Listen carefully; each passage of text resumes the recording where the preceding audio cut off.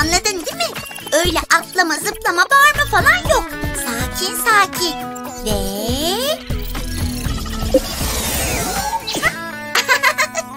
Çok tatlısın. Hayır. Oh, oh, oh.